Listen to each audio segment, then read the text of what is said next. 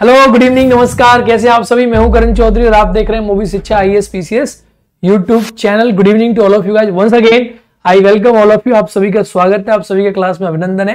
तो आज हम टॉपिक पढ़ रहे हैं राष्ट्रपति का टॉपिक राष्ट्रपति का जो टॉपिक है, वो सभी प्रतियोगी परीक्षाओं के लिए मोस्ट इंपॉर्टेंट टॉपिक है। आज हम पढ़ेंगे प्रेसिडेंट का टॉपिक राष्ट्रपति। सभी एग्ज़ाम में काम आने वाला और आप यकीन मानिए कि एकदम क्लास की पूरी पॉलिटी की जान, हमारे देश की जान सर्वाधिक जो प्रश्न पूछे जाते हैं एग्ज़ाम में, वो पूछे जाते हैं पॉलिटी में, राष्ट्रपति के टॉपिक से। तो क्या है राष्ट्रपति में? क्यों इंपॉर्टेंट है? क्यों आपको पढ़ना चाहिए? इन सारी चीज़ों के बारे में बातचीत करते हैं और चलिए शुरू करते हैं। ये जो बैच है, इस बैच में आप बिल्कुल पेड़ की तरीका से पढ़ रहे हो। तब पेड़ की तरीका से पढ़ रहे हो तो हम पार्ट पाँच पे आ चुके हैं। अब तक आप संविधान के चार भाग को पढ़ चुके हैं। आज हम संविधान के पाँचवें भाग, यानी संघ के बारे में बातचीत करेंगे। जब भारत के संविधान के पाँचवें भाग को पढ़ते हैं, संघ सरकार के बारे में पढ़ते एक प्रश्न बनता है यहाँ से कि संघ सरकार में जो आर्टिकल्स हैं, वो कौन से में भाग में तो भाग जो पाँच है, इसमें आप यूनियन गवर्नमेंट के बारे में पढ़ोगे और इसमें यूनियन गवर्नमेंट के जो आर्टिकल्स आप देखते हो, वो आपको बावन से लेकर एक सौ इक्यावन आर्टिकल तक नज़र आते हैं। बावन से लेकर एक सौ इक्यावन के बीच में संघ सरकार का, यानी संघ की सरकार का वर्णन है। इस बावन से एक सौ इक्यावन आर्टिकल्स को मैं आपको पूरे याद करा दूँगा। यानी अभी तक मैं आपको बताऊँ तो आप लोगों को मैं आर्टिकल एक से शुरू किया था, एक से चार पढ़ा दिया था, पाँच से मैंने आपको ग्यारह पढ़ा दिया था, बारह से लेकर मैंने आपको पैंतीस पढ़ा दिया था, छत्तीस से लेकर मैंने आपको इक्यावन पढ़ा दिया था, और आर्टिकल इक्यावन ए भी मैंने आपको पढ़ा दिया था। ये सब आप पढ़ चुके थे। अब जो स्टार्टिंग होगी, वो आर्टिकल बावन से लेकर एक सौ इक्यावन के बीच में होगी। लेकिन सिर्फ़ बावन से लेकर एक सौ इक्यावन में संघ सरकार के कई महत्वपूर्ण चीज़ें हैं जो आपको पढ़नी पड़ती है। इसमें एक है भारत का राष्ट्रपति। तो पहला प्रश्न आपके एग्ज़ाम में यहीं से बनेगा कि राष्ट्रपति भारत के संविधान के कौन से भाग में है? एक प्रश्न बनता है तो राष्ट्रपति भारत के संविधान के पार्ट पाँच में है। आंसर हो गया।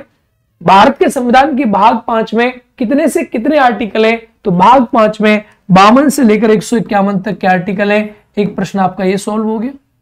अब मैं संघ सरकार की बात करूँ, यानी मैं आपके सामने यूनियन गवर्नमेंट की बात करूँ यूनियन गवर्नमेंट की मैं आपके सामने बात करूँ तो संघ सरकार में भाग पाँच में जो आर्टिकल उन्हें ऐसे ऐसे बांटते जैसे बावन से लेकर अठहत्तर तक आप बात करते हो एग्जीक्यूटिव की।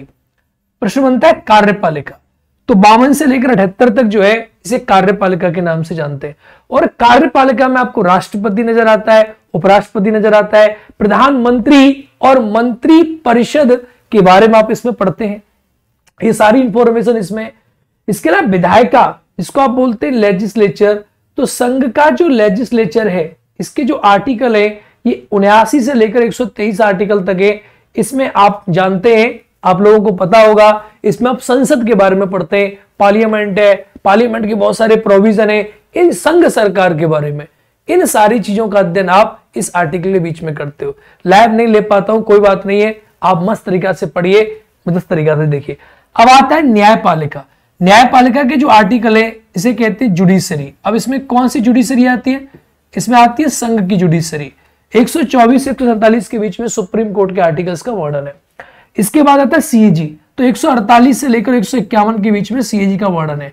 यानी अगर मैं आपके सामने सिंपल बात करूँ कि भाग पाँच के आर्टिकल बावन से एक सौ इक्यावन और भाग पाँच को आप तोड़ देते हो इन चार चीज़ों में। नंबर वन तोड़ देते हो आप कार्यपालिका, नंबर दो विधायिका, नंबर तीन आपकी न्यायपालिका और नंबर चार है आपका सीएजी अब इंपॉर्टेंट एस्पेक्ट क्या है?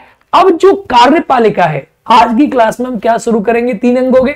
कार्यपालिका विधायिका और न्यायपालिका, सरकार के मुख्यतः तीन ही अंग होते हैं।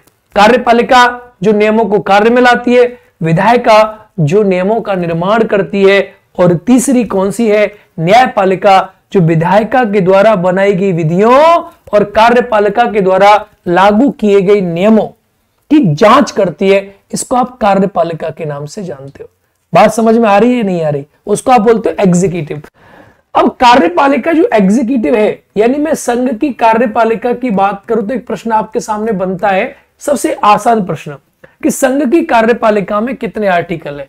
संघ की कार्यपालिका में बावन से लेकर अठहत्तर तक के आर्टिकल है, अनुच्छेद है। ये समझ में आया? अब इस कार्यपालिका में एक व्यक्ति है प्रेसिडेंट तो आप ये कह सकते हैं, बावन से लेकर बासठ तक पूरा राष्ट्रपति के आर्टिकल है, उपराष्ट्रपति तिरसठ से लेकर तिहत्तर तक के उपराष्ट्रपति के आर्टिकल है।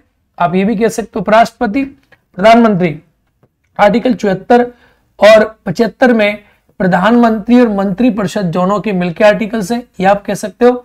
और आर्टिकल छिहत्तर सेवेंटी सिक्स सेवेंटी सिक्स में आप एजी के बारे में पढ़ते हो एंड सेवेंटी सेवन और सेवेंटी एट में आप भारत सरकार के कार्यों के बारे में वर्णन करते हो business of the government of India इस प्रकार से आर्टिकल्स आपके बटे हुए। तो आज का जो टॉपिक है कार्यपालिका का, उस टॉपिक का नाम क्या है? उस टॉपिक का नाम है प्रेसिडेंट देखो, प्रश्न कितनी प्रकार से बना।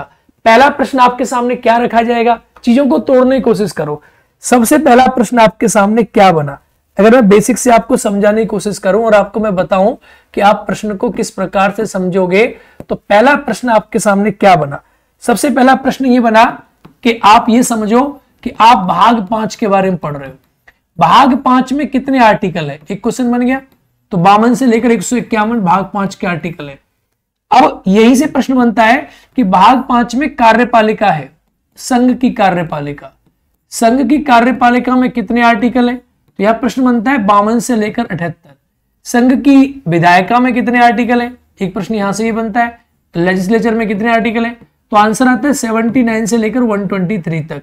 एक प्रश्न बनता है कि संघ की न्यायपालिका में कितने आर्टिकल है? तो यहाँ एक प्रश्न बनता है 124 से लेकर 124 से लेकर, एक तक। यह कार्यपालिका, न्यायपालिका और विधायिका। ये तीन बॉडीज होगी, कार्यपालिका, न्यायपालिका, विधायिका। अभी जो कार्यपालिका है, इस कार्यपालिका यानी एग्जीक्यूटिव जो है, जो कार्य करती है, इस कार्यपालिका का पार्ट कौन है? इसका पार्ट है प्रेसिडेंट अरे हाँ या ना? तो अब प्रेसिडेंट के आर्टिकल कितने हुए? तो प्रेसिडेंट के आर्टिकल या बावन से स्टार्ट होते हैं, ये एक बेसिक सी बात है। तो इस प्रकार के कई प्रकार के प्रश्न आपके एग्ज़ाम में पूछे जाते हैं, इनको आप याद रखेंगे। कैसे प्रश्न पूछेगा? पहला प्रश्न पूछेगा कि भारत के संविधान के भाग पाँच का नाम क्या है? उत्तर क्या होगा? संघ होगा। अवनीश गौतम जी, ओके। ठीक है? संघ होगा। संविधान के भाग पाँच में कितनी चीज़ें हैं? कार्यपालिका, न्यायपालिका, विधायिका। तो भाग पाँच की कार्यपालिका कितने आर्टिकल है? भाग पाँच की विधायिका के कितने आर्टिकल है और भाग पाँच की न्यायपालिका के कितने आर्टिकल है? और कार्यपालिका का अंग कौन है? राष्ट्रपति है। आज आप इस टॉपिक के बारे में पढ़ेंगे, मज़े से पढ़िए तो इन चीज़ों को लेकर याद रखना है। बच्चे कंफ्यूज हो जाते हैं कि भाग पाँच के आर्टिकल पूछ रहा है, या संघ की कार्यपालिका के आर्टिकल पूछ रहा है, या राष्ट्रपति के आर्टिकल पूछ रहा है। एक एक पैरल में तोड़ेंगे। भाग पाँच के आर्टिकल ये है। समझ में आया? संघ की कार्यपालिका के आर्टिकल ये है और राष्ट्रपति के आर्टिकल जो है, वो ये है। तो एक एक पैरल में आप तोड़ के चलेंगे चीज़ों को। आज हम पढ़ेंगे भारत के राष्ट्रपति के बारे में। राष्ट्रपति यानी कि प्रेसिडेंट ऑफ़ इंडिया। सबसे पहले मैं कुछ बेसिक बातें आपको बताऊँगा। हमारे संविधान का अनुच्छेद बावन में राष्ट्रपति के बारे में ज़िक्र किया गया प्रेसिडेंट। अनुच्छेद बावन में लिखा है कि भारत के एक राष्ट्रपति होंगे। एक राष्ट्रपति होंगे there shall be a president of India अब इसका मतलब क्या हुआ? लिखा है there shall be a president of India shall be a president of India अब इसका मतलब आप क्या समझोगे? कि एक भारत में राष्ट्रपति होंगे। आपने कहा, जी, ठीक है, बिल्कुल होंगे, हंड्रेड परसेंट होंगे। अब राष्ट्रपति के पास क्या है? राष्ट्रपति क्यों होंगे? इसका मीनिंग है कि हमारे कंट्री में जो पोस्ट ऑफ़ द प्रेसिडेंट है, वो कभी बैकेंड नहीं होगी। हमेशा भारत के राष्ट्रपति होगा। यानी इसका मतलब हुआ कि राष्ट्रपति के पद पर कोई न कोई हमेशा बैठा ही रहेगा। जय हिंद सभी को नमस्कार। राष्ट्रपति का पद कभी खाली नहीं होगा। उसके पद पर कोई न कोई हमेशा बैठा रहेगा। The post of the president will never vacant Bharat में राष्ट्रपति होगा, इसका मतलब यही निकलता है कि भाई, भारत में राष्ट्रपति का पद कभी खाली नहीं होगा। अब यहाँ से डायमेंशन निकलती है, आप मुझे आंसर दें। देखो, आप सभी इस बात को जानते हैं कि अगर मैं भारत की व्यवस्था के बारे में बात करूँ, इंडिया की व्यवस्था के बारे में बात करूँ तो आप में से मेजोरिटी ऑफ़ बच्चों को यह पता है कि भारत में संसदीय प्रकार की व्यवस्था है। कैसी व्यवस्था है? संसदीय व्यवस्था है। आप इस बात को जानते हैं? इंडिया में कैसी फॉर्म है? इंडिया में parliamentary form of the government है। पार्लियामेंट्री आप सभी को पता है? Parliamentary form of the government जिस भी कंट्री में होती है, वहाँ पर दो हेड का प्रोविज़न होता है। एक तो आप समझते होंगे, एक तो रियल हेड होता है, जिसको आप बोलते हैं वास्तविक अध्यक्ष, और एक होता है नॉमिनल हॉल इसको आप बोलते हैं नामात्र अध्यक्ष। और हम लोगों ने जो प्रोविज़न लिया इसका, ये हमने ब्रिटेन से लिया। तो ब्रिटेन में आपने देखा कि वहाँ पर भी राष्ट्रपति नहीं है। तो ब्रिटेन में कौन है? अब ब्रिटेन में आप देखते हो तो ब्रिटेन में आपको राजा नज़र आता है ब्रिटेन में राजा है। कौन है ब्रिटेन में? राजा है। वही आप अमेरिका की बात करोगे तो अमेरिका में प्रेसिडेंट का पद है। क्या पद है? प्रेसिडेंट का पद है। वहाँ पर आप राष्ट्रपति का पद देखते हो। यहाँ अमेरिका में जो पद है, उसे आप कहते हो प्रेसिडेंट। तो एक बड़ा मौलिक सवाल आपके सामने बनता है।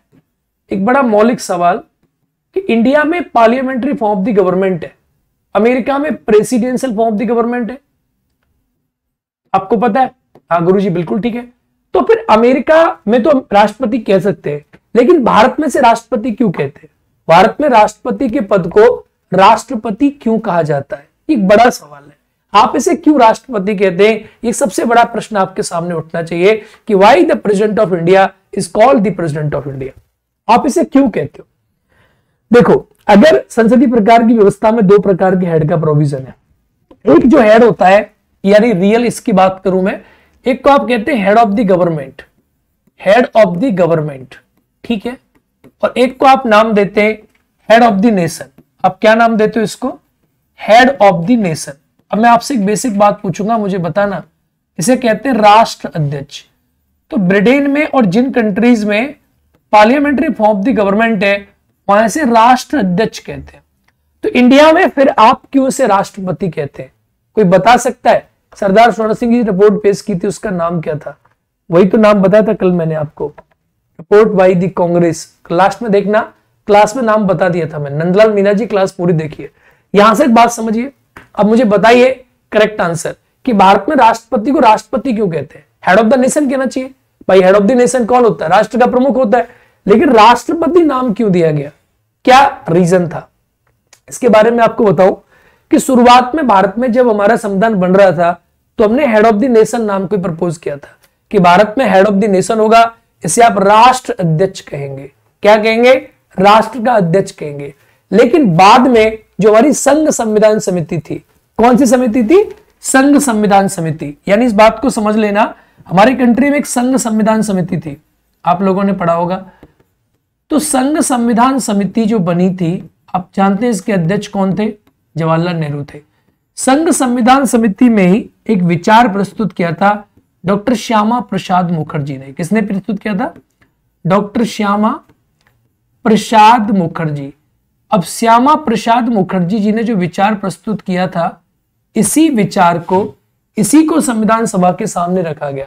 और संविधान सभा ने फाइनली 30 अप्रैल 1947 को इस बात को स्वीकार किया था कि भारत में जो राष्ट्रपति का पद होगा, इसका नाम राष्ट्रपति होगा, इसे हम हेड ऑफ़ द नेशन नहीं बोलेंगे। तो ये इंपॉर्टेंट प्रश्न है। डॉक्टर श्यामा प्रसाद मुखर्जी, प्रश्न इस प्रकार से पूछ लेगा कि भारत में भारत में राष्ट्रपति नाम का पद किसने दिया? तो श्यामा प्रसाद मुखर्जी जी ने राष्ट्रपति नाम का पद दिया था। कब दिया था? तो 30 अप्रैल उन्नीस सौ सैंतालीस को दिया था। संघ संविधान समिति ने इसका प्रपोजल दिया था, जो बाद में पास प्या पास हुआ और इसका नाम पड़ गया राष्ट्रपति। नहीं तो आप देखेंगे कि जिन कंट्रीज़ में, जिन कंट्रीज़ में संसदीय प्रकार की व्यवस्था पाई जाती है जिन कंट्रीज़ में parliamentary form of the government पाई जाती है, उन कंट्रीज़ में दो प्रकार के हेड होते हैं। एक को आप बोलते हैं हेड ऑफ़ द नेशन और दूसरे को बोलते हैं हेड ऑफ़ द गवर्नमेंट एक को आप बोलते हैं रियल हेड और दूसरे को आप बोलते हैं नॉमिनल हेड लेकिन भारत में कुछ और आपको देखने को मिल रहा है। भारत में प्रधानमंत्री का पद है, जो ब्रिटेन में है, और भारत में राष्ट्रपति का पद है, जो आप अमेरिका में देख रहे हैं। तो हमने दोनों ही चीज़ों को मिक्स करके अपने संविधान में ऐड कर दिया और दोनों ही को हम ऐड करके अपने संविधान में लेकर आए। SPM Shyama Prasad Mukherjee sir paid course में कब से पढ़ाएँगे? पेड कोर्स में पढ़ाएँगे पॉजिटिव एनर्जी भाई रोहित जी? बस पेड कोर्स में जो है पॉलिटिकल साइंस वाले में पढ़ाएँगे पॉलिटिकल साइंस के बैच चल रहा है ओनली ठीक है? ये बात समझ में आगे से विद्यार्थियों को? तीस अगस्त को दिया था, ना सर, हम कंफ्यूज है। तीस अप्रैल को दिया था। तीस अप्रैल उन्नीस को दिया था। ठीक है? थर्टीज अप्रैल 1947 बात समझ में आ गई? तो ये आपके सामने एक बेसिक प्रश्न हो गया। कि भारत के राष्ट्रपति को आप राष्ट्रपति कहते हैं। अब मैं और क्या समझाऊं इसके बारे में? तो बड़ी सिंपल बात समझो। राष्ट्रपति को आप लोग क्या कहते हो? हेड ऑफ़ द नेशन कहते हैं। क्या बोलते हैं? हेड ऑफ़ द नेशन और हेड ऑफ़ द नेशन का मतलब क्या हुआ? कि हमारे कंट्री में राष्ट्रपति कौन है? राष्ट्र का प्रमुख है। तो प्रश्न बनेगा कि नहीं बनेगा? कि भारत में राष्ट्र का प्रमुख कौन है? तो राष्ट्रपति है। और आर्टिकल बावन साफ़ तौर पे कहता है कि भारत में एक राष्ट्रपति होगा। अगर कोई पूछे आपसे प्रश्न पूछे कि भारत में राष्ट्रपति का पद कभी खाली नहीं हो सकता। हमने उपराष्ट्रपति का प्रोविज़न किया है। तो ये बात कौन से आर्टिकल में मेंशन है? तो आर्टिकल बावन जो है, इस बात को आपको बता रहा है कि राष्ट्रपति हमेशा होगा। हमेशा इंडिया में प्रेसिडेंट का पोस्ट कभी खाली नहीं होगा, ये आर्टिकल बावन आपको बता रहा है और आपको समझा रहा है। बात समझ में आ रही है? सर, दिल से डायरेक्ट घुस जाता है आपकी वॉइस दिल में डायरेक्ट घुस जाती है, ऐसा मत कीजिए। पहले मन में उतारिए, फिर दिल में ले जाइए। समझ में बात आ रही है? ठीक है। तो ये कौन सा है? ये आर्टिकल बावन है। अब आर्टिकल तिरपन क्या कहता है? देखो, कैसे याद करोगी? बावन मतलब सर्वोच्च। हमारे समाज में जो ब्राह्मण होते हैं, जिनका पूजन किया था, उन्हें बावन कहते हैं। और बावन मतलब सर्वोच्च। इसी प्रकार से हमारे कंट्री में आर्टिकल 52 बावन है, और बावन मतलब सबसे ऊपर का ब्राह्मण। अब आता है आर्टिकल 53 आर्टिकल 53 को आप पढ़ोगे तो संघ की कार्यपालिका शक्ति राष्ट्रपति में निहित होंगी। ये मोस्ट इंपॉर्टेंट आर्टिकल है। इस आर्टिकल का मीनिंग क्या है, इसको ध्यान से समझो।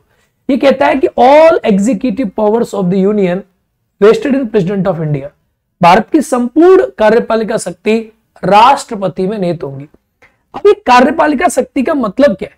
यानी ये बोल रहा है कि जितने भी हमारे कंट्री में एग्जीक्यूटिव पावर है, ये सारी एग्जीक्यूटिव पावर जो है, ये राष्ट्रपति, यानी हमारे कंट्री का जो प्रेसिडेंट है, उस प्रेसिडेंट में सारी की सारी पावर क्या होंगी? सारी की सारी पावर निहित होंगी।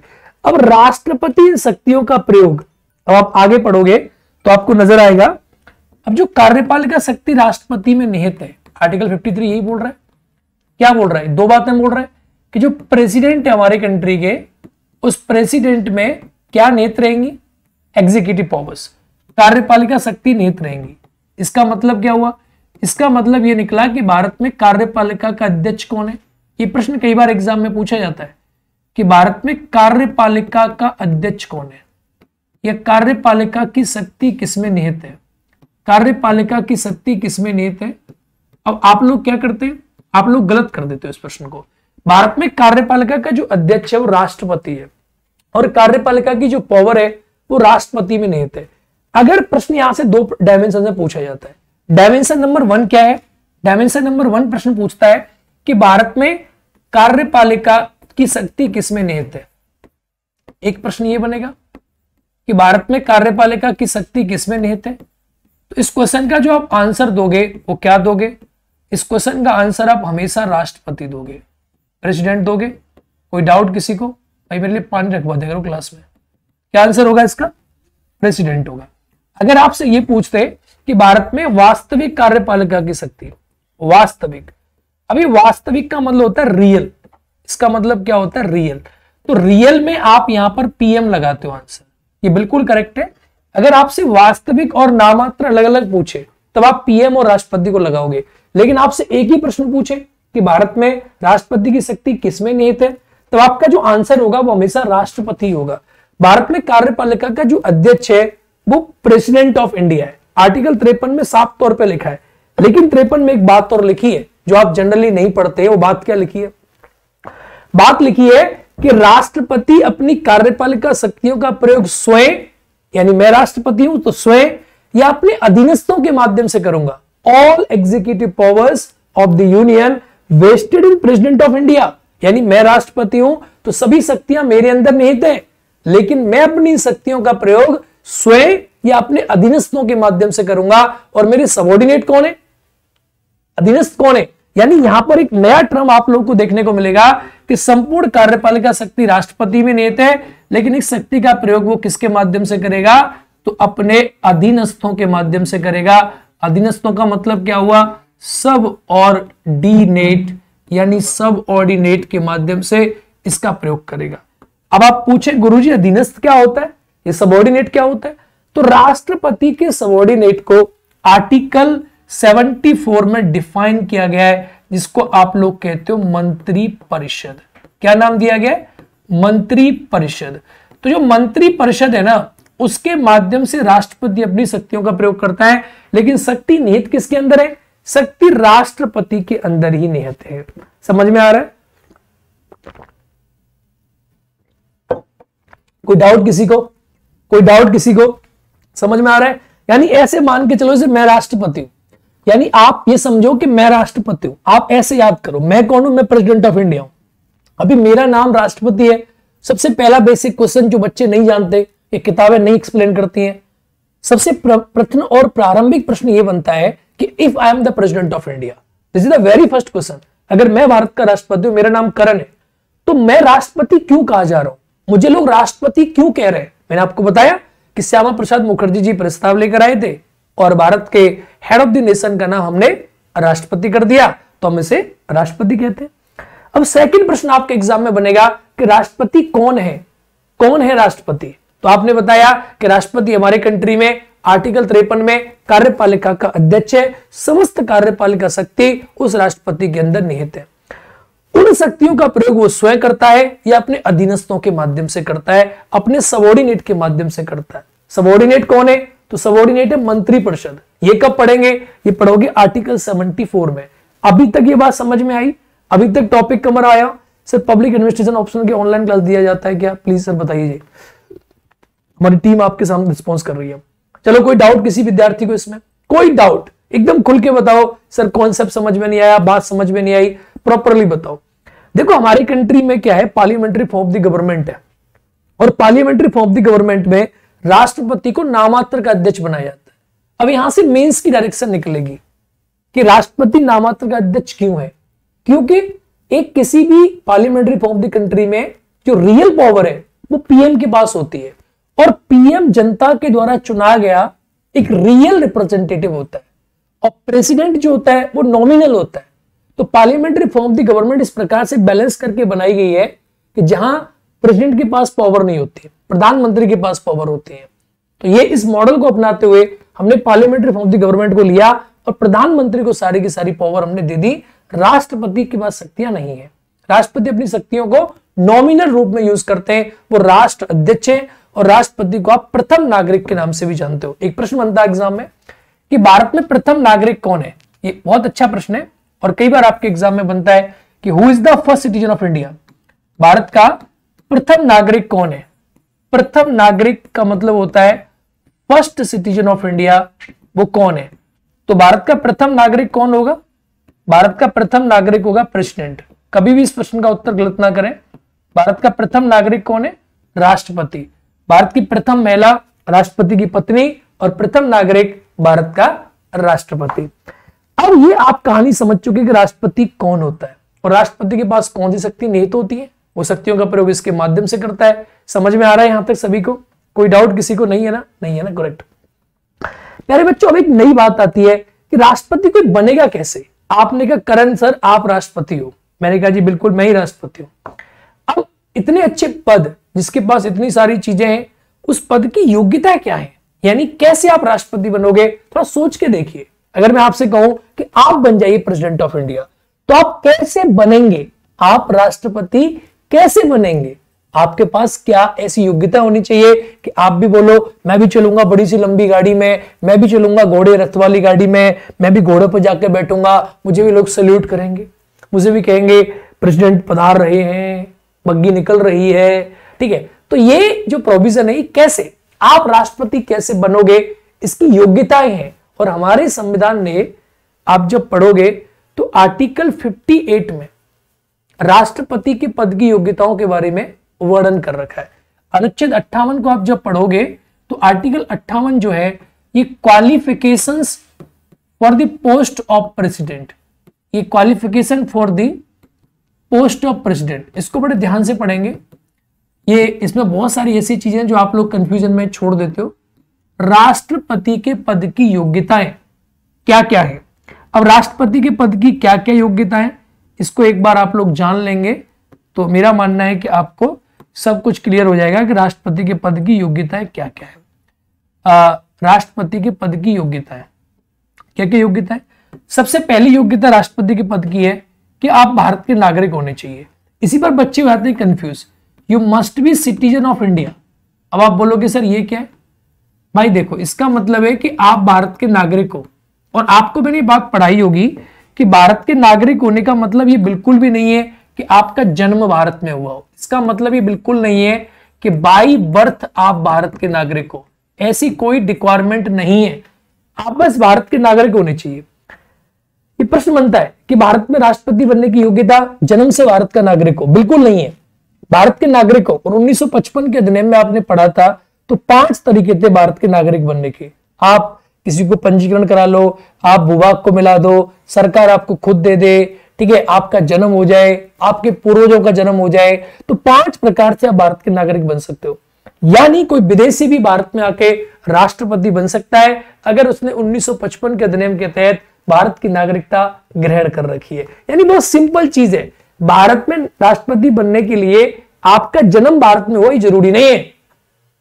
भाई, आप कहीं भी पैदा हो गए आप कोई फ़र्क नहीं पड़ता। आप भारत के नागरिक होने चाहिए।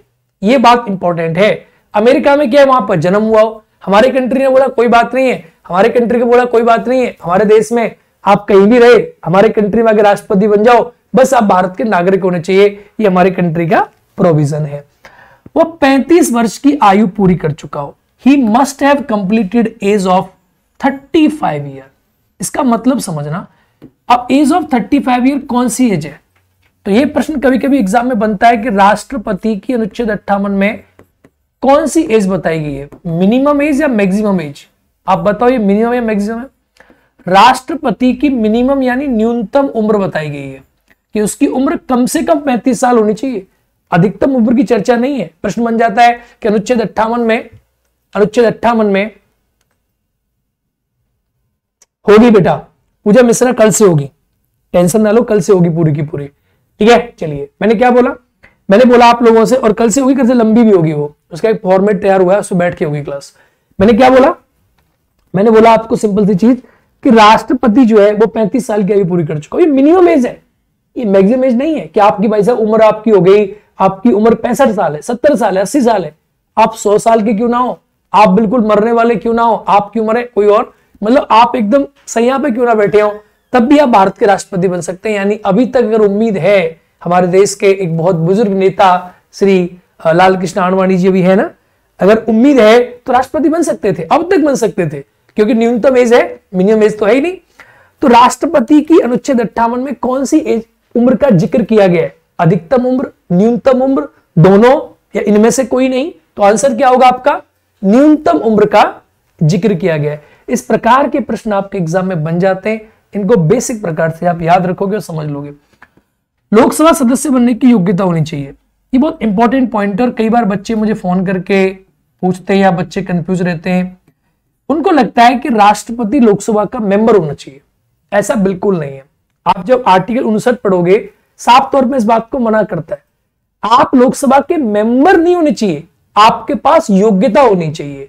जैसे कि आप सपोज़ करो अब भाई, कोई लड़की आपसे कहे कि आप में मेरे पति बनने की सारी योग्यताएँ हैं। अब पति बनने की सारी योग्यता, इसका मतलब ये थोड़ी ना है कि आप उसके पति हो। लोकसभा का सदस्य बनने की योग्यता होनी चाहिए। अब बहुत बच्चे सोचते हैं, सर, लोकसभा के सदस्य बनने की उम्र तो 25 साल है, और राष्ट्रपति उम्र आपने 30 साल 35 साल बता दी। ये सर लोचा हो गया।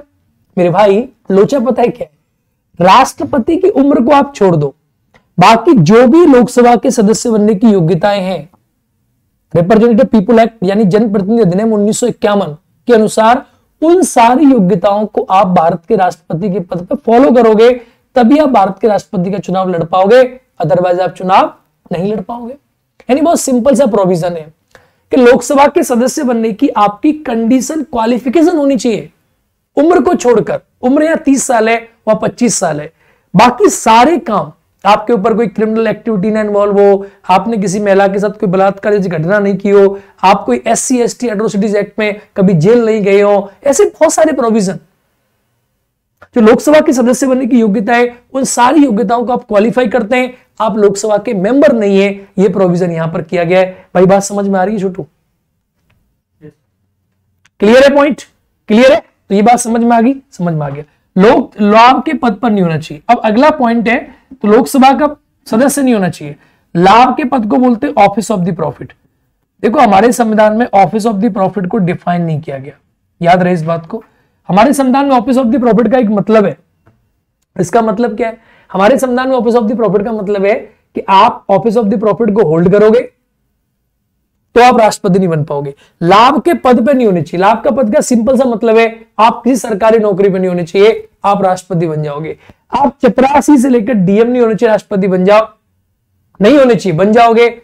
आप एमएलए हैं, एमपी हैं, कुछ भी है तो कोई फ़र्क नहीं पड़ता। लेकिन हर प्रकार की सरकारी नौकरी लाभ के पद की बात करती है।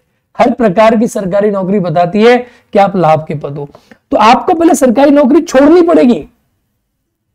तो आप राष्ट्रपति के चुनाव लड़ोगे। अगर आप एमपी एमएलए तब आपको छोड़ने की आवश्यकता नहीं है। तब आप तब छोड़ोगे जब आप राष्ट्रपति पद की शपथ लोगे। यहाँ आपको पहले छोड़ देनी पड़ेगी, ये इसकी बेसिक योग्यता है। बात समझ में आई या नहीं आई? पॉइंट समझ में आया? तो आपको क्या है? राष्ट्रपति लाभ के पद पर नहीं होना चाहिए ऑफ़िस ऑफ़ द प्रॉफिट को होल्ड नहीं करना चाहिए। किसी भी कीमत पर अगर आप ऑफ़िस ऑफ़ द प्रॉफिट में हो तो आप जो है राष्ट्रपति का चुनाव नहीं लड़ सकते। ये बड़ी सिंपल सी बात इसमें कही गई है। मुझे लगता है आपकी समझ में आ गया होगा पॉइंट आप लोग समझ गए होंगे। बोलो हाँ या ना? संगीता कुमारी कह रही यस सर ठीक है, आया? पॉइंट समझ में आया? अब देखो, अब इसके बाद एक प्रोविज़न आता है। आप लोग अट्ठावन आर्टिकल तो पढ़ लेते हो। इसमें एक और आर्टिकल है आर्टिकल उनसठ। आर्टिकल उनसठ बहुत इंपॉर्टेंट आर्टिकल है, यानी आर्टिकल 58 बहुत ही इंपॉर्टेंट आर्टिकल है। आप इस आर्टिकल को आप लोग नहीं पढ़ते हो। तो इस आर्टिकल के बारे में भी थोड़ी जानकारी आप लोग लो। आर्टिकल अट्ठावन आपने पढ़ा। आर्टिकल उनसठ भी राष्ट्रपति के बारे में योग्यता ही बताता है। लेकिन यहाँ पर जो शब्द यूज़ हुआ है, ये हुआ है condition of the office conditions of the president office आप मुझसे पूछोगे, सर, ये क्या है? तो इसे कहते हैं राष्ट्रपति के पद की शर्तें। आपने क्या नाम दिया? इसको नाम दिया राष्ट्रपति के पद की शर्तें। राष्ट्रपति के पद की शर्तें। Conditions of the president office ये आर्टिकल उनसठ में डिफाइन है। ये आर्टिकल उनसठ में डिफाइन है। उनसठ में इसके पद की कुछ शर्तें दी गई हैं। अब वो शर्तें क्या क्या है, उनको भी ध्यान से समझेंगे। वो भी आप, वो भी होनी चाहिए। तब जाके आप राष्ट्रपति बनते हो। अब वो शर्तें क्या है, इसको ध्यान से समझेंगे। पहली शर्त क्या है? कि किसी भी सदन का, अब यहाँ लिखा है किसी भी सदन का मेंबर ना हो, किसी भी सदन का। अब इसका मतलब क्या हुआ? इसमें जो सदन कौन से कौन से आते हैं? इसमें एक तो आता आपकी लोकसभा क्या आप लोकसभा के मेंबर ना हो। एक आता आपकी राज्यसभा क्या आप राज्यसभा के मेंबर ना हो। एक आता है राज्यों की विधानसभा, यानी आप विधानसभा के मेंबर ना हो। एक आता है राज्यों का विधान परिषद, यानी आप इसके भी मेंबर ना हो। यानी मैं बहुत सिंपल भाषा में कहूँ तो आपने क्या देखा? सिंपल भाषा में आपने ये देखा कि ना तो आप संसद के मेंबर होने चाहिए किसी भी हाउस के, और ना आप राज्य विधानमंडल के मेंबर होने चाहिए किसी भी हाउस के। इन दोनों में से किसी भी सदन की आपको मेंबर होना ज़रूरी नहीं है। आपको यहाँ यहाँ नहीं होना चाहिए। You must not be member of either house of the parliament must not be आपको मस्ट नॉट आपको होना नहीं चाहिए। किसी भी कीमत पे आप किसी भी सदन के मेंबर नहीं होने चाहिए। बात समझ में आ रही है?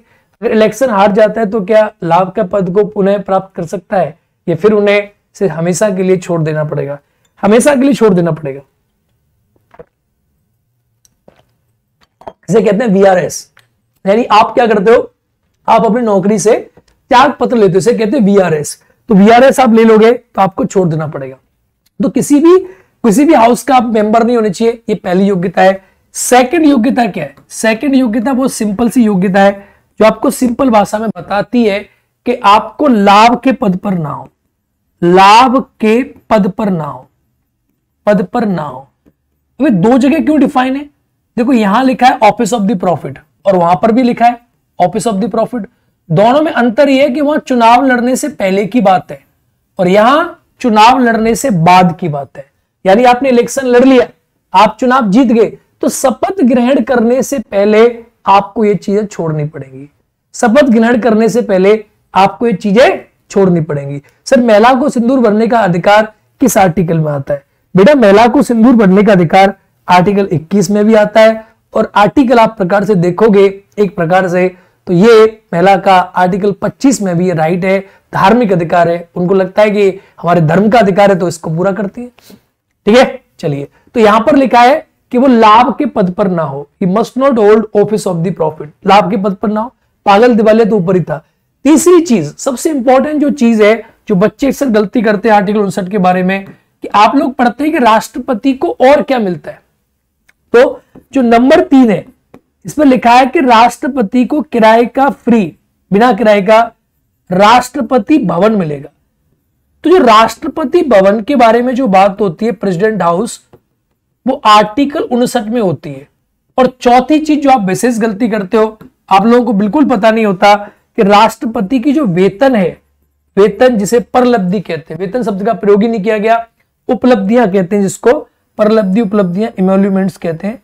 इसका जो प्रयोग हुआ है, वो भी आर्टिकल उनसठ में आपको देखने को मिलता है कि भारत का जो राष्ट्रपति है, वो राष्ट्रपति क्या करेगा? बिना किराए के मकान में रहेगा, बिना किराए के मकान में राष्ट्रपति भवन में और उसको क्या मिलेगा? राष्ट्रपति को वेतन भी मिलेगा। अब इन दोनों चीज़ों के बारे में बात करते हैं। दोनों चीज़ें क्या है? इनके बारे में बात करते हैं। आपकी समझ में आ गया? किसी भी सदन का मेंबर नहीं होना चाहिए, किसी भी सदन का। लाभ के पद पर नहीं होना चाहिए। अभी दो डायमेंशन है। डायमेंशन नंबर वन और dimension number two dimension number one क्या है? डायमेंशन नंबर वन है कि राष्ट्रपति भवन। आप लोगों को इसके बारे में खूब जानकारी होगी। कोई बच्चा इसके बारे में जानता है। इसको आप लोग बोलते हैं प्रेसिडेंट हाउस। क्या बोलते हैं मेरे प्यारे बच्चों? President house. राष्ट्रपति बिना किराए के, बिना किराया मतलब है, बिना किराए के राष्ट्रपति भवन में निवास करेगा, उसे कोई रोक नहीं सकता। यानी फ्री का, क्या मिलेगा उसे? फ्री का राष्ट्रपति भवन मिलेगा, इसमें वो निवास करेगा, इसे कोई रोक नहीं सकता। अब राष्ट्रपति भवन कहाँ पर है? राष्ट्रपति भवन में कौन सी कौन सी चीज़ें इसके बारे में थोड़ी सी जानकारी मैं आपको देता हूँ। जो क्लास है थोड़ी हटके है, पर आपको मज़ा आएगा।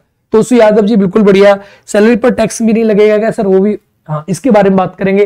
देखो, राष्ट्रपति जो भवन है, इसको दिल्ली में स्थित है। अगर कोई प्रश्न आपसे पूछता है कि राष्ट्रपति भवन क्या है, इसके बारे में कुछ रोचक जानकारी मैं आपको देता हूँ। राष्ट्रपति भवन कहाँ स्थित है? अगर कोई पूछे तो कहाँ स्थित है?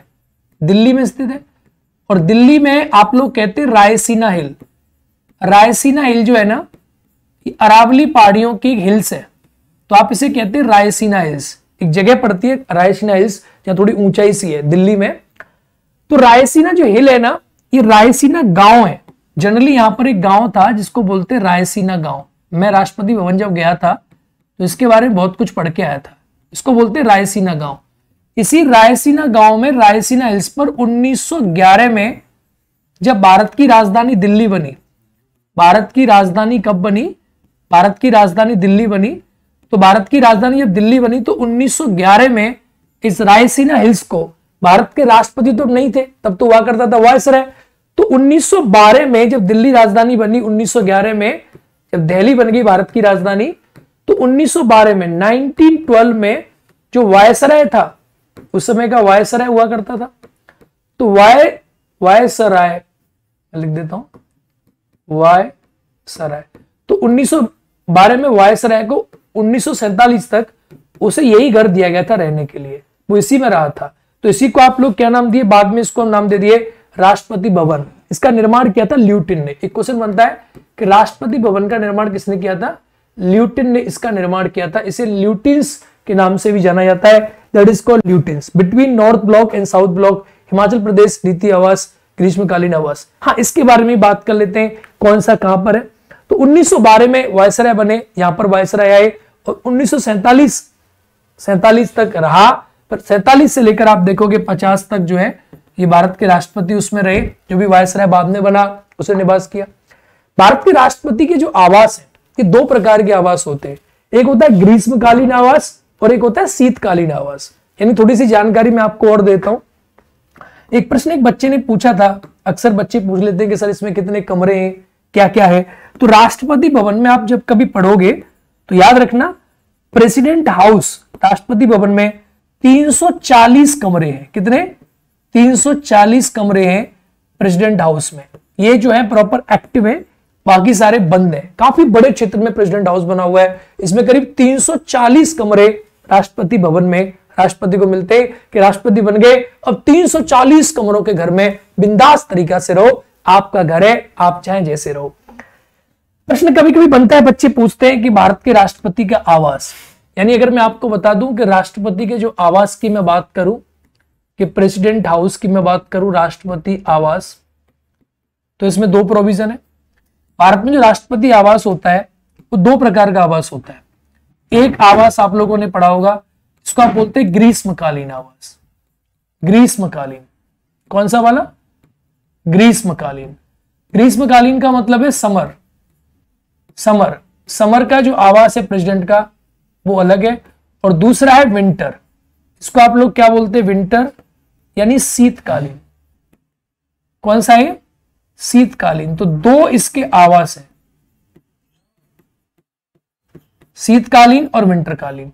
जो शीतकालीन, जो ग्रीष्मकालीन आवास है राष्ट्रपति का, वो हिमाचल प्रदेश के शिमला में पड़ता है। अगर प्रश्न आपसे पूछ ले कि ये कहाँ पड़ता है? तो हिमाचल शिमला। हिमाचल शिमला में जगह पड़ती है धनवरा। शिमला में एक जगह पड़ती है जिसका नाम है धनवरा।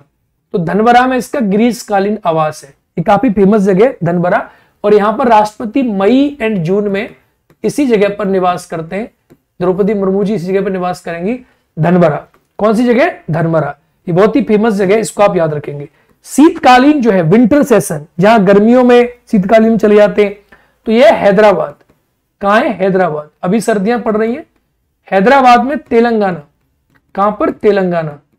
और तेलंगाना स्टेट है। इसमें हैदराबाद में एक जगह पड़ती है। इसमें आप लोग जो राष्ट्रपति जो है जनवरी, दिसंबर, जनवरी की सर्दियों में राष्ट्रपति चली जाती है तेलंगाना, यहाँ पर। जिसे राष्ट्रपति निलयम के नाम से जानते हैं। इसका नाम है राष्ट्रपति निलयम राष्ट्रपति निलयम। और निलयम का मतलब होता है आवास। ठीक है, राष्ट्रपति निलयम। तो ये सर्दी का है, यानी ये विंटर का है और ये गर्मी का है, और बाकी समय पर कहाँ रहते हैं? तो बाकी समय पर आपको पता है दिल्ली में रहते हैं। तो ये तीन प्रकार के राष्ट्रपति के आवास है। सर, हमारे घर में थोड़ा सा बड़ा है, हमारे यहाँ छह कमरे हैं। प्रेसिडेंट हाउस में ओनली प्रेसिडेंट अकेले रहते हैं। जैन सर, आप आइए लाइव में। ओके ठीक है? तो भाई प्रेसिडेंट हाउस में प्रेसिडेंट अकेले नहीं रहते। उनके साथ पूरी पलटन रहती है। राष्ट्रपति का सचिवालय होता है सेक्रेटरीट होता है। 340 करोड़ राष्ट्रपति कहाँ से रहेंगे? कोई विदेश का आता है, वो भी उसमें रुकता है। बहुत सारी चीज़ें हैं। स्क्रीनशॉट लेना है प्लीज़ लीजिए स्क्रीनशॉट ले लीजिए भाई। कमलेश कुमार शुक्ला जी ले लीजिए। धनबरा ले लीजिए।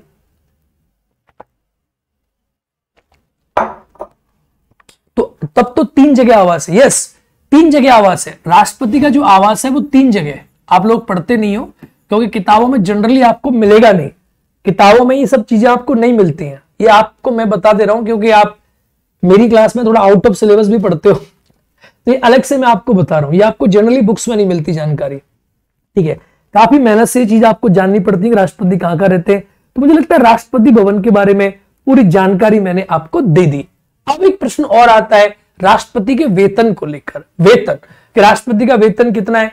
राष्ट्रपति का जो वेतन है, ये पाँच लाख रुपए। सबसे पहले आप शब्द पढ़ेंगे कि राष्ट्रपति का जो वेतन है, ये कौन से आर्टिकल में? तो आर्टिकल उनसठ में ही तो इसका वेतन है और उनसठ में ही इसका आवास है। इन दोनों चीज़ों के बारे में विशेष तौर पर याद रखेंगे। अब मैं वेतन के बारे में बात करूँ कि राष्ट्रपति को कितना वेतन मिलता है तो पहली बात तो इसे वेतन नहीं कहते। राष्ट्रपति को कभी भी सैलरी नहीं मिलती। आप लोग बहुत गलत शब्द का प्रयोग करते हो। राष्ट्रपति को न तो वेतन मिलता है और ना ही राष्ट्रपति को सैलरी मिलती है। अगर प्रश्न पूछ ले कि भारत के राष्ट्रपति को निम्नलिखित में से क्या दिया जाता है? भारत के राष्ट्रपति को निम्नलिखित में से क्या दिया जाता है? अगर प्रश्न आपके एग्ज़ाम में पूछ ले तो आप क्या आंसर देंगे? तो इसे बोलते हैं उपलब्धियाँ। क्या बोलते हैं उपलब्धियाँ? क्या बोलते हैं उपलब्धियाँ? राष्ट्रपति को क्या दिया जाता है? उप, उपलब्धियाँ। ठीक है?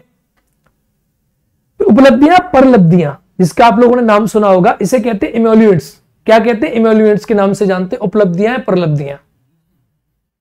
हाँ, बिल्कुल बहुत बढ़िया। राष्ट्रपति की उपलब्धियाँ ठीक है? ये उपलब्धियाँ परलब्धियाँ। तो इसका पीडीएफ उपलब्धियाँ पाँच लाख रुपए। देखो तो राष्ट्रपति को वेतन नहीं मिलता। इसको आप क्या नाम देते हो? इमोल्यूमेंट्स नाम देते हो। अंग्रेज़ी में एक बार दौड़ लेना क्या है? इमोल्यूमेंट्स अंग्रेज़ी में नाम क्या है? इमोल्यूमेंट्स नाम है। इमेल्यूमेंट जो है आप इसे कहते हो इमेल्यूमेंट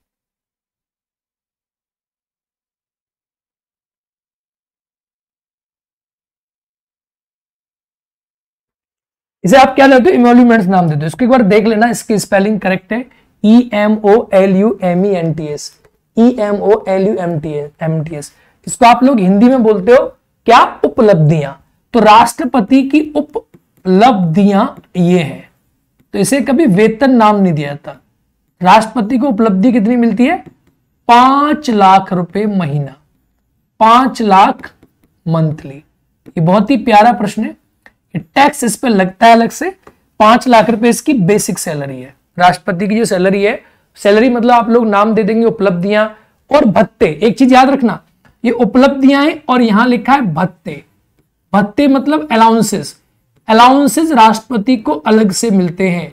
ये क्या है? तो इसको मिलती है उपलब्धियाँ, पाँच लाख रुपए। और भत्ते भी अलग से मिलते हैं, जो समय समय पर बढ़ते चले जाते वर्तमान में पाँच लाख रुपए इसका वेतन है, पाँच लाख रुपए उपलब्धियाँ और ये कभी कम नहीं होती। चीज़ याद रखना, ये कभी भी कमी नहीं होती। कभी भी कम नहीं होती। कम नहीं होती। कम नहीं होती। राष्ट्रपति के कार्यकाल के दौरान ये कभी कम नहीं होती। कुछ बच्चे पूछते हैं कि आपातकाल में तो याद रहे, आपातकाल में। दूसरी चीज़, याद रहे, वित्तीय आपातकाल में, किसी भी प्रकार का आपातकाल हो, वित्तीय आपातकाल हो आपातकाल हो, किसी में भी राष्ट्रपति का जो वेतन है प्रेसिडेंट की जो सैलरी है वो क्या नहीं होती? कम नहीं होती कम नहीं। तो प्रश्न बन जाता है कभी कभी एग्ज़ाम में कि राष्ट्रपति का जो वेतन है वो क्या उसके पदावधि में कम हो सकता है? तो बिल्कुल पदावधि में कम नहीं हो सकता बिल्कुल भी कम नहीं हो सकता। इत, इतना ही रहता है। अशोक जी आ रही है किताब। तो ये कभी कम नहीं होता। ये हमेशा पाँच लाख रुपए रहता है। सर एक सवाल है आपसे। बिल्कुल पूछना आप सवाल। अभी मैं इस क्लास को बस यहीं पे रोकेंगे हम। अगली क्लास हम लेंगे राष्ट्रपति का निर्वाचन। आप सवाल पूछ लीजिए। अशोक सियाचरण जी, आप भी पूछ लीजिए। तो प्रश्न यहाँ से कैसे बनेगा कि भारत के राष्ट्रपति को निम्नलिखित में से क्या दिया जाता है? ऑप्शन दे देगा salary option number second allowances option number third allowances and perks option number fourth allowance and emoluments तो उत्तर होगा आपका अलाउंसेस भत्ते और उपलब्धियाँ। याद रखना इस बात को। कभी राष्ट्रपति को वेतन नहीं मिलता। वेतन किस बात का मिलेगा यार? ऐसे ही बहुत से बच्चों में कंफ्यूजन है। जैसे अटॉर्नी जनरल है। तो अटॉर्नी जनरल को भी वेतन नहीं मिलता। राष्ट्रपति का भी वेतन नहीं है। इसको उपलब्धियाँ कहते हैं। इस काम को करने के उपलक्ष्य में आपको ये उपलब्धियाँ दी जा रही हैं। आप मेरी बात को समझ रहे कि नहीं समझ रहे? अशोक जी, जल्दी किताब आ रही है, आप घबराइए मत। राष्ट्रपति भवन मिला लाभ का पद नहीं है और ये सदस्य नहीं होना चाहिए। ये सारी बातें आर्टिकल 59 में डिफाइंड है। अब जो अगला टॉपिक है कि अब मेरे बारे में आपने क्या जाना कि मैं कौन हूँ? राष्ट्रपति। मेरा नाम कैसे बना? आप जान गए मेरे अंदर क्या शक्ति है? आप जान गए मुझे राष्ट्रपति बनने की योग्यता क्या है? ये भी आप जान गए राष्ट्रपति कैसे बनूँगा? यानी राष्ट्रपति में क्या मुझे मिलेगा? ये भी मैं जान गया। अब अब सबसे इंपॉर्टेंट जो चीज़ है, वो क्या है? सबसे इंपॉर्टेंट चीज़ है बेटा, कि मुझे राष्ट्रपति बनने के लिए क्या करना होगा। तो निर्वाचन इलेक्शन तो राष्ट्रपति का निर्वाचन जो है, इसको हम पढ़ेंगे। क्लास में कल की में, भारत में राष्ट्रपति का निर्वाचन। भारत में राष्ट्रपति का निर्वाचन कल की क्लास का टॉपिक है टेक्निकल टीम भारत में राष्ट्रपति का निर्वाचन। अच्छे से लिखा जाए, राष्ट्रपति निर्वाचन जो है ठीक से लिखे। ठीक है, चलिए। अब एक बच्ची पूछ रही सर, ये बताइए, किताबों में लिखा रहता है वेतन। बेटा, किताबें तो 90 परसेंट गलत है। मैं आपको बता रहा हूँ, मेरे पास दिन में बीसों ऐसे विद्यार्थी हैं या दोस्त हैं, मित्र हैं, या पब्लिकेशन से जो किताब लेकर आते हैं। कि हमारी किताब को रिकमेंड कर दो। यानी दिन में तो नहीं, लेकिन महीने में बीस आदमी तो कम से कम आते और मैंने किसी भी किताब में इतनी गलतियाँ मिलती हैं कि पूछो मत। और जब मैं बात करता हूँ उनके राइटर से, वो कहते हैं, अरे सर, इन चीज़ों पर थोड़ा ना ध्यान दिया जाता है। आप वेतन लिखेंगे, उपलब्धियाँ लिखेंगे। लोग इन गलतियों को इग्नोर करते हैं, क्योंकि वो इनको बहुत बेसिक गलती मानते हैं। उनका कहना है कि सब गलतियाँ नहीं है। उनका कहना है ये सब गलतियाँ नहीं है। इतनी शुद्धता से पढ़ाई नहीं करनी चाहिए। उनका कहना ये है। तो मैंने उनसे ये कहा कि यार एक बात बताओ। चीनी में मिलावट, बूढ़े में मिलावट, घी में मिलावट, डालडा में मिलावट, सरसों के तेल में मिलावट, दाल में मिलावट, पढ़ाई में भी मिलावट, पढ़ाई में भी मिलावट है। ये बहुत बड़ा कारण है कि पढ़ाई में भी मिलावट है। और जब आप मिलावट का खाना खाने लगते हो तो आपको मिलावट रहित खाना जब दिया जाएगा आपको नहीं बचेगा। ऐसा एक बायोलॉजिकल स्ट्रक्चर बन जाता है आपकी बॉडी का, वैसे आपके दिमाग का भी बन जाता है। उस दिन मैंने आपको बताया था कि लोकसभा के सदस्यों की अधिकतम संख्या पाँच है, सभी 550 550 ऐसा होगा कि आपका दिमाग अब गलत इंफॉर्मेशन को इतना फ़ीड कर लेगा कि आप सही इंफॉर्मेशन दे नहीं पाएँगे। और ये कारण भी है एग्ज़ाम में प्रश्न ऐसे नहीं पूछे जाते। एग्ज़ाम में भी बेहतर लिख देते हैं वो लोग, लेकिन संविधान को जब आप असली में पढ़ोगे तो वहाँ वेतन शब्द का प्रयोग नहीं है। वहाँ पर लब्धियाँ उपलब्धियाँ नाम के शब्द का प्रयोग है। वहाँ वेतन शब्द का कोई प्रयोग नहीं है। मेरी किताब आएगी पूरी दुनिया ही मतलब ये सर ऐसा नहीं है। एग्ज़ाम्पल दे सकते हैं।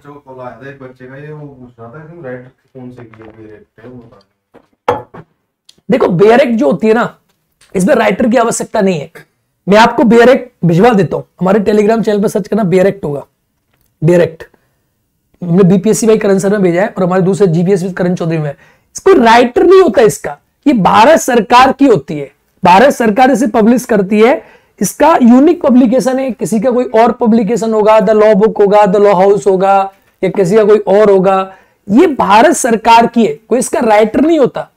यानी आप भारत सरकार का बेयरेक्ट आप देखोगे तो भारत सरकार की जो वेबसाइट है, उस पर आपको भारत का संविधान देखने को मिल जाता है। कॉन्स्टिट्यूशन ऑफ़ इंडिया यानी इसमें कोई ऐसी चीज़ नहीं है कि आपको इसके लिए स्पेसिफिकली आपको कोई राइटर की लेनी है पीएम बक्सी की आती है, लेकिन पीएम बक्सी ने भी कुछ नहीं कर रखा। तो मेरा मानना है कि आप संविधान का ओरिजिनल वर्जन खरीदे, ये ओरिजिनल किताब ले। मार्केट में चले जाए, बस ये ध्यान दें कि इसमें 105वां संविधान संशोधन अपडेटेड हो। इसे क्या होगा? लेटेस्ट है पुराना वाला आपको पकड़ा देगा उन्नीस का। तो आप कोशिश करना कि आप लास्ट में जाके चेक कर लेना इसमें कितने अमेंडमेंट हो रखे और ये कोई भी ले लो आप। कोई फ़र्क नहीं पड़ता। मैं एक काम करता हूँ फ्री में आपको दे देता हूँ। टेलीग्राम पे भेजा भाई ये, भेज दिया। देखो, हमारा टेलीग्राम चैनल पे जब जाओगे जीएस विद करण चौधरी पे तो ये हमारा ये हमारा जीएस विद करण चौधरी हमारा टेलीग्राम है। यहाँ देखोगे तो मैंने बेयरेक्ट डलवा दिया। ये बेयरेक्ट अभी अभी डल गया यहाँ पर तो ये बेयरेक्ट खुल रहा है। थोड़ा सा बड़ा होता है। आप इस बेयरेक्ट को यहाँ से पढ़े। आराम से पढ़े। देखो, डल गया। इसको ऐसे करके ओपन करना और इसको हमेशा अपने पास रखा करो। इस पर लिखा है, भारत का संविधान। अशोक छपा है। उन्नीस तक का है यानी पुराना हो गया। ठीक है, लेकिन आप इसे ले लेंगे। अब देखो, अभी वाले प्रश्न को देखेंगे इसमें तो आर्टिकल बावन पे चलो। चल आर्टिकल बावन पे। आर्टिकल बावन पे चलोगे तो देखो। फट फट, फुर फुर, धू। ठीक है? आर्टिकल बावन को ध्यान से पढ़े। इसमें आपको सारे के सारे आर्टिकल्स की जानकारी मिलती है एक्चुअल बियर एक्ट है। और जो भी टीचर एक एक लेवल के बाद जब पढ़ाते हैं तो मेरा मानना है कि कोई भी टीचर जब पढ़ाता है तो जनरली वो बेयर एक्ट से पढ़ाते हैं एक लेवल के बाद। उनको बेयर एक्ट ही इंपॉर्टेंट लगता है और सभी बेयर एक्ट से पढ़ाना पसंद करते हैं। एक लेवल के बाद। ये देखो, मैं आपको दिखा देता हूँ 102 चल रहा है। ये देखो। ये देखो, आप पढ़ो। ये देखो। यहाँ पर कुछ देख रहे हो आप? ये क्या लिखा है? मौलिक कर्तव्य। और मौलिक कर्तव्यों के बाद आप जानते क्या आएगा? राष्ट्रपति।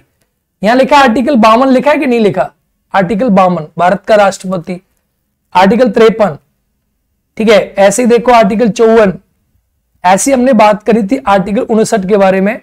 तो आर्टिकल उनसठ भी आपको यहाँ नज़र आएगा फिफ्टी नाइन देखो फिफ्टी नाइन मैं आपको दिखाता हूँ अभी। ये देखो फिफ्टी एट और यहाँ देखो फिफ्टी नाइन यहाँ देखो क्या क्या लिखा है। राष्ट्रपति कोई लाभ का पद धारण नहीं करेगा। देखो मैंने बताया था कि नहीं बताया था अभी। लिखा है कि नहीं लिखा?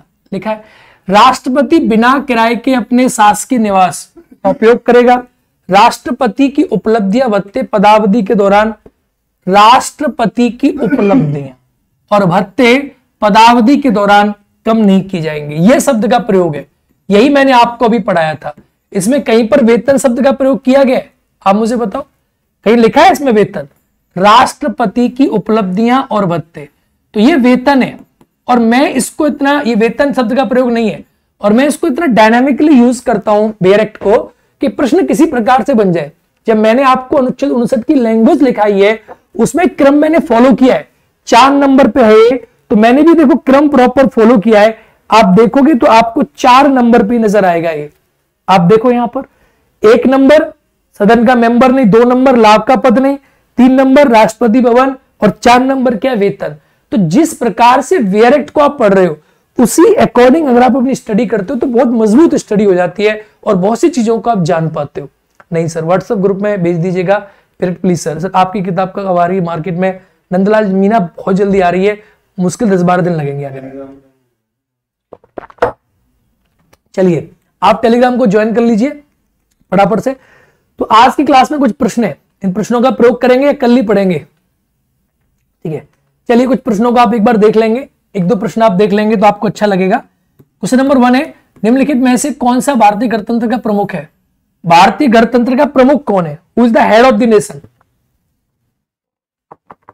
ये ओम प्रकाश कुमावत इस बात के बारे में बात करेंगे जो आगे हमारा पॉइंट आएगा।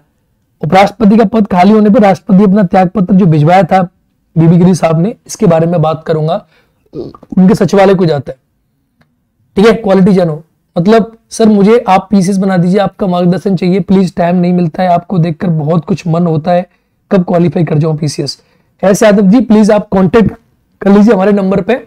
मैं आपसे बात कर लूँगा। टेंशन मत ले मेरे भाई। यहाँ देख। आंसर क्या होगा? भारत का राष्ट्रपति। समझ में आया? अगला प्रश्न। भारत के राष्ट्रपति अपनी शक्तियों का प्रयोग कैसे करते हैं? अब बताओ the president of India exercise power by article तिरपन में मैंने अभी पढ़ाया था। आंसर क्या होगा? आंसर क्या होगा? भाई रेलवे ग्रुप डी के रिज़ल्ट के बारे में जानकारी मुझे नहीं कब आएगा रिज़ल्ट रेलवे ग्रुप डी का? मुझे एक्चुअली थोड़ी जानकारी नहीं है इन एग्ज़ाम्स के बारे में। ठीक है? तो यूपीपीसीएस और बीपीएससी ये सब के बारे में थोड़ी जान, मैं थोड़ा आउट हो गया हूँ रेलवे वगैरह से प्लीज़ माफ़ कर देना।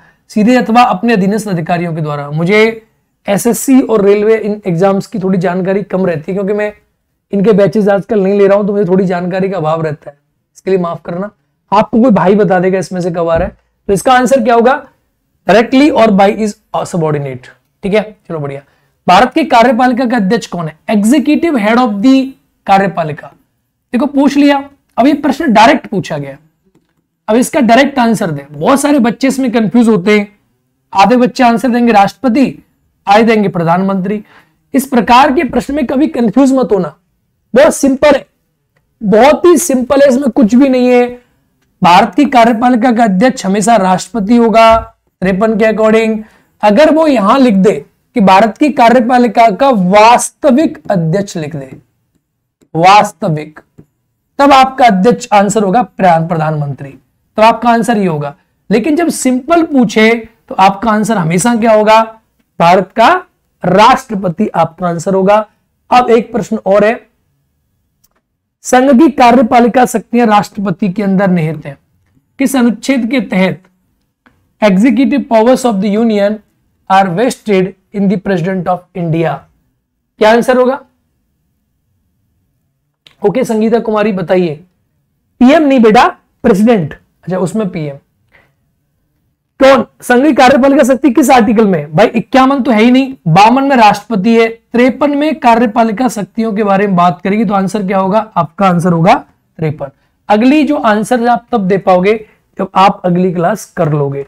तो कल की क्लास में हम पढ़ेंगे भारत के राष्ट्रपति का निर्वाचन, भारत में राष्ट्रपति का निर्वाचन। बहुत ही मज़ा आने वाला है। आज आपने क्लास जितने जोश से देखी है उसे जुगने दोस्त से क्लास देखिए। आपको कुछ नया जानकारी हमेशा क्लास में मिलेगी। Always try to give my best in your class ठीक है? कि बेस्ट से बेस्ट मैं आपको प्रोवाइड कर सकूँ। बेस्ट से बेस्ट चीज़ें आप जान सके। और कल निर्वाचन की जो पीपीटी होगी, निर्वाचन की जो क्लास होगी, अपने आप में होगी। हम सारी डायमेंशन के बारे में बात करेंगे।